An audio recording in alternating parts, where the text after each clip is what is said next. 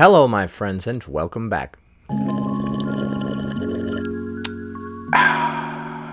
Today, we're going to be taking a look at some of the problems you may encounter if you try to go shopping as a fat person. We're going to take a look at some videos from Classy Fatty Babe on TikTok.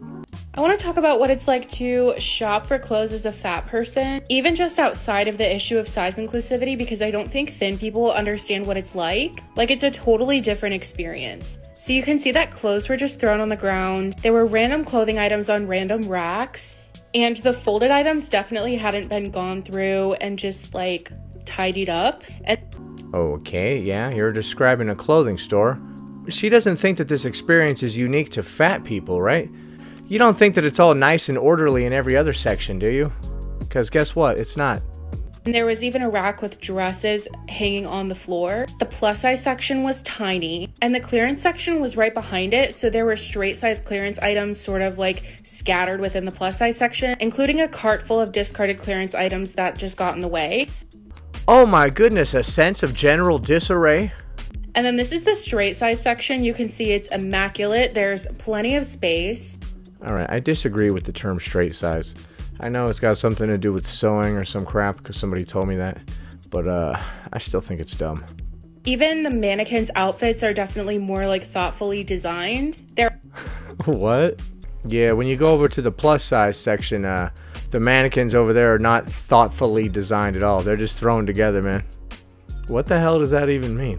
There are plenty of options for every occasion, and there were a few items on the ground, but I could tell that was just like stuff that fell from hangers, nothing that customers really did. It's pretty clear that the straight size section is tidied up throughout the day, and the straight size section was at the front of the store versus the plus size section is always kind of sandwiched at the back of the store.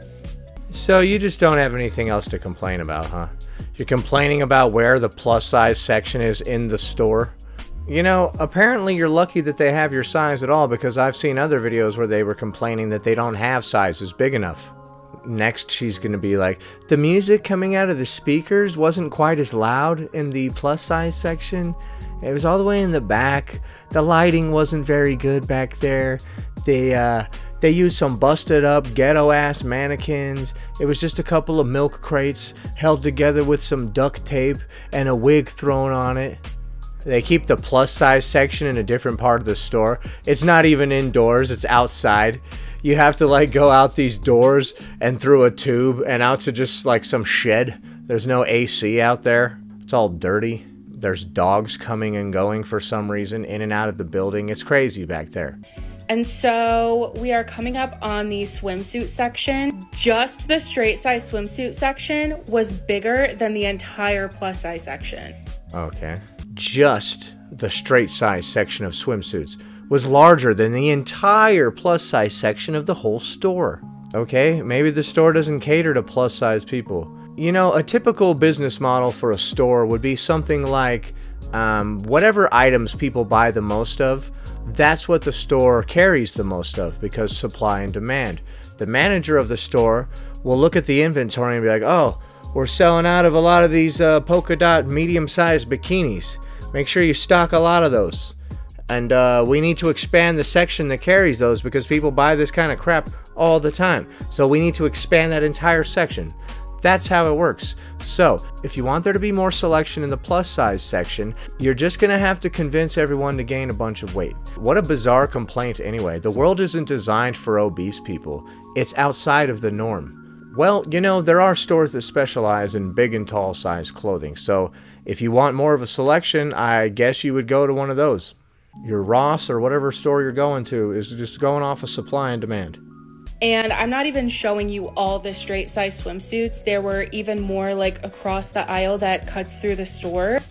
And there's so many different options and varying degree of modesty. But there's no excuse for not having more plus size options. 75% of women in the US wear a size 14, 16, or higher.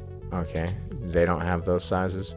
I'm sure they have those sizes like crazy. So this is the Pride section. There were zero plus size options in store. And again, this section was pretty. What? The Pride section? You need a section for gay clothes? If I was gay and I went into a store and they're like, we have a special Pride section just for you, I'd be like, what? Neat, you know, pretty tidy, pretty well kept. So they only carry plus size Pride merch online. And this is just more footage of the Pride section only going up to an XXL. And there were baby clothes and pet items in the Pride section. Why do you keep talking about the pride section? I, I thought you're going to to be fat and complain about fat stuff. Now you're trying to lump this in there too? They prioritized dogs ahead of fat people. Regardless of your views on fat people and weight loss, we deserve to be treated better than animals. Now we're gonna take a look at the bonus clip. Hello, fat people. What's something that you do that you're pretty sure really pisses off thin people? Uh, There's a lot of things that I do. One thing that really makes thin people mad is when I eat McDonald's. There's a lot of things you do that make thin people mad, like eating McDonald's. Oh yeah, dude, nothing makes me angrier than when I see some fat person harming themselves by eating more of the garbage food that made them the way that they are. That really that really gets in my craw. I tell you.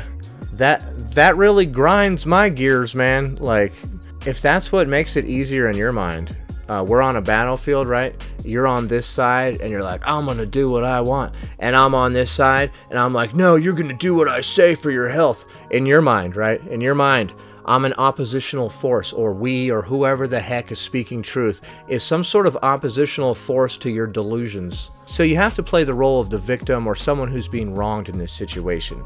It's very narcissistic for you to assume that anyone would be mad at you for eating McDonald's or whatever. You said there's a lot of stuff you do that makes thin people mad.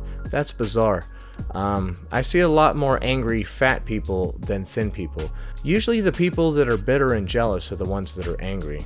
Mad at you for what? To me, what I find more satisfying and, in my opinion, more productive is just making them uncomfortable. And one of my favorite ways to do this is when I refer to myself as fat in a positive or neutral way. And they say things like, You're not fat. Don't say that about yourself.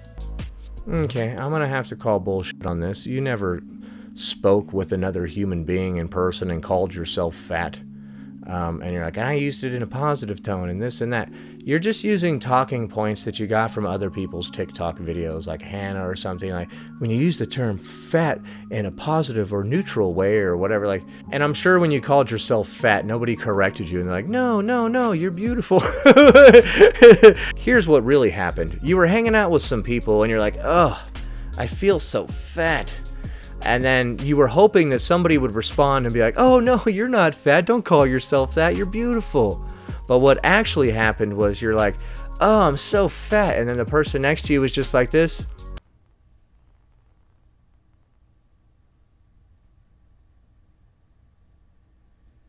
Acting like they didn't hear it, acting like they don't see you. All of a sudden, they got tunnel vision. Like I, I didn't hear anything from over there. I don't even, I didn't see anything over in this direction. I didn't hear anything coming from this general direction. To which I respond, I said I was fat, not ugly. And then everyone clapped. Is, is that is that what happened next? And that forces them to reflect on their biases. Biases, eh? That does force them to reflect on their biases, does it? So, okay, let's just let's play the scenario out. All right, I'm chilling. Uh, this chick calls herself fat. I'm like, oh, you're not fat, yada yada yada. And then she's like, I said I'm fat, not ugly. And she's like trying to be all positive or whatever. And then me, I'm gonna be like, oh, I have all kinds of biases against fat people because I thought that fat meant ugly. I guess. Yeah, see, when you play it out, like actually think it through and say it out loud, it sounds pretty damn stupid. When you use your ears to listen to the actual word part, um, you can hear the stupidity of it. It's just, it's a, it's quite a phenomenon. Not every larger bodied person uses the word fat. Larger bodied person. Not every larger bodied person uses the term fat. Some of them use the term larger bodied person, and then everyone laughs at them. You call up the theater, Do you guys have seats for larger bodied persons? And they're like, What? You mean people of size? they're like, We only know the term people of size. I, I don't know what this other term is. We're only half woke. But I do, because I have unique experiences, oppression, and joy. You've got oppression. I see. Somebody with an excess of food who's sitting in a pool with a beautiful floaty behind her, might I add, is talking about oppression. My goodness. My goodness. I come with my body size. So, thin people, it is not your job to tell a fat person how they should talk about their body. What? Why? What? The, what?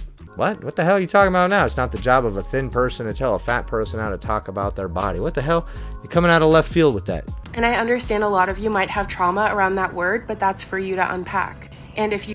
Okay, so you understand that a lot of people have trauma around the word fat, and then you said, but that's for you to unpack. So basically, I know that using the term fat may offend some of you, but fuck you. Okie dokie. That's kind of weird coming from someone who's supposed to be part of some acceptance community, right? you need some resources for how to do that, I'll be posting some. And in this playlist, I have a video with journal prompts to help you get started. Um, no. I'm, I'm not going to do any of that. So, Classy Fatty Babe is a classic victim, um, somebody who is oppressed within the fat acceptance community. We saw them crying about the lack of inventory as far as fat people clothes go at a regular store.